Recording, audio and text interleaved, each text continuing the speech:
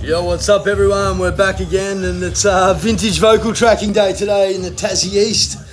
So we're just mixing it up a bit. Um, it's got a little Pro Tool session going, obviously.